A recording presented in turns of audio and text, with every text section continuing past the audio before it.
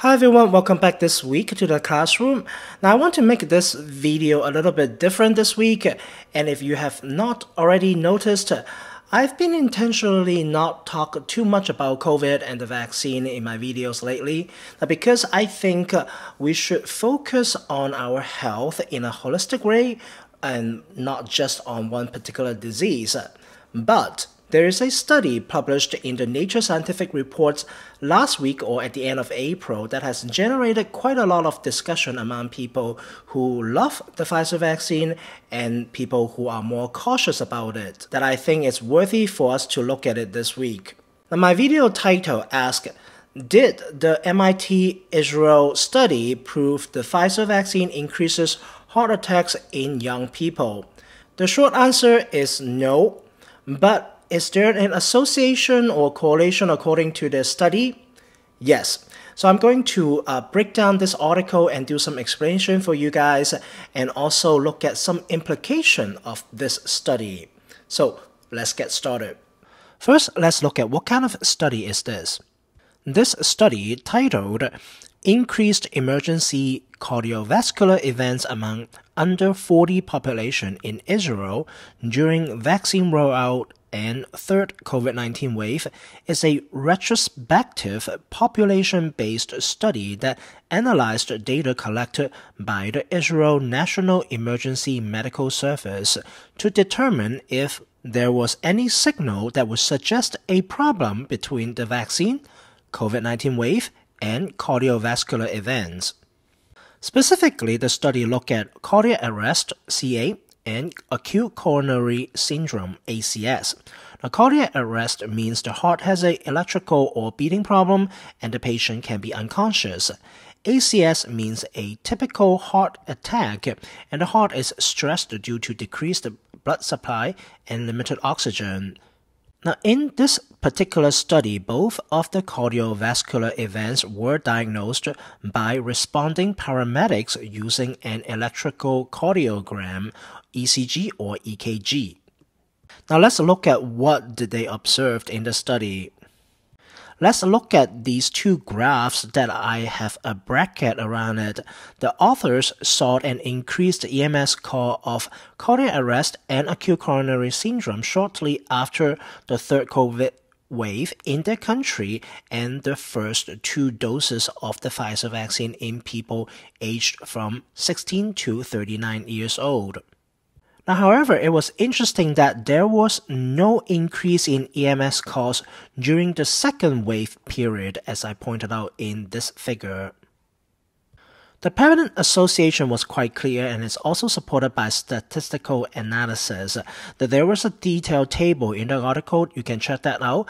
But the highlight here is that there was a statistically significant increase of over 25% in cardiac arrest call and 26% increase in ACS related calls during the January May 2021 and compared to the same period in 2020, in particular in the age group of 16 to 39 years old.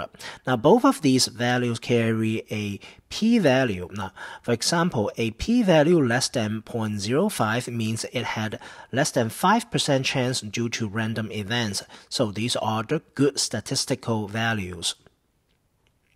But not everything presented in this article makes a very good sense. And for instance, here, this is the second part of the graph that I just presented.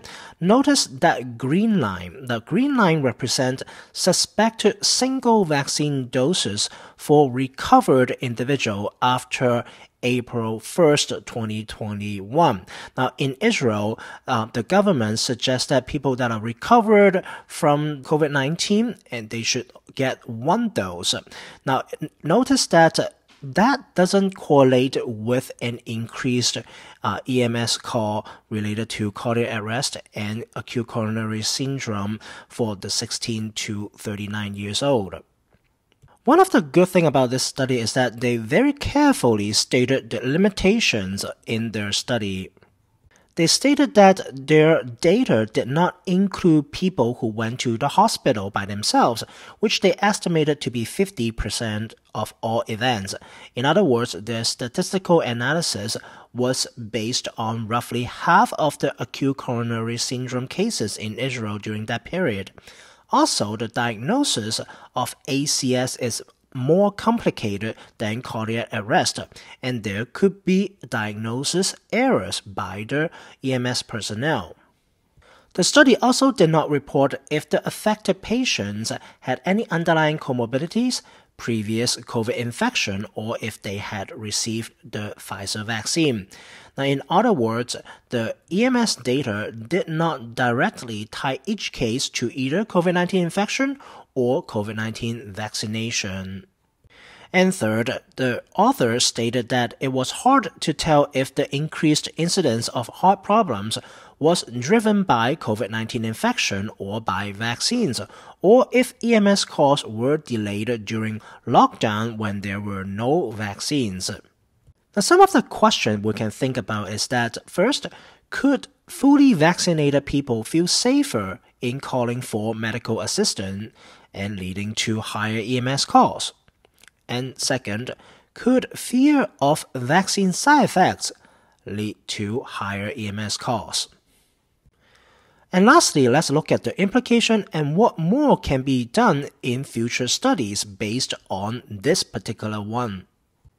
The authors stated clearly in their abstract, which is the first paragraph when everyone read their article, that their study did not establish a causal relationship, but suggested taking a closer look at why there was a surge in cardiac arrest and acute coronary syndrome cases report or cause in young adults during the observed period.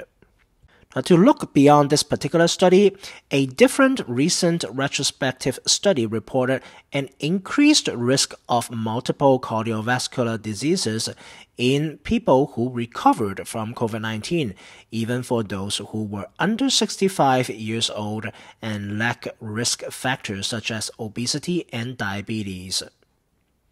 Now, these retrospective observational studies are really good at giving us something to think about.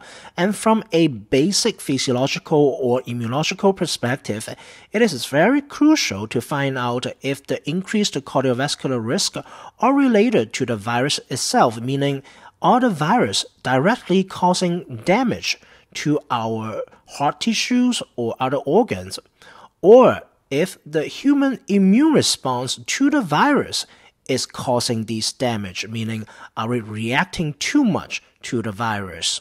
And these are the questions that basic researchers need to dig into, in my opinion. We know the mRNA vaccines are designed to resemble a natural infection or natural viral infection to generate an immune response.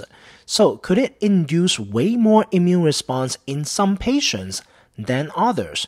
And that is the question. The bottom line is that I think everyone should keep an open mind when they're reading a study like this one. Now, the authors of this study very carefully list out all of their possible limitations and, and also they did not hint any causative effects. At the same time, they've done a very good job of pointing a direction for other researchers to look for a more definitive answer in the near future. That is all for this week. Thank you again for all of your support. Now, currently I'm rebranding this channel to talk about a more holistic approach to health and wellness. And like my mission of my channel says, the mission statement, I don't know if you ever noticed, is learning to live a healthier life and I hope everyone can do that through this channel. Now, I will still do periodic important updates on COVID. So if these are the topics that interest you, I hope you can think about sticking around and subscribe to the channel.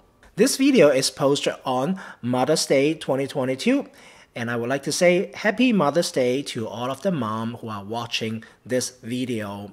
And if you are still sticking around at this point of the video and you are a son or daughter who would like to try to make a zero cholesterol vegan based breakfast for your moms or for yourself, you may check out this video that is on my personal YouTube channel. Now that is all for this week and I hope to see you again next time. And thank you again for watching. Please take care. Bye.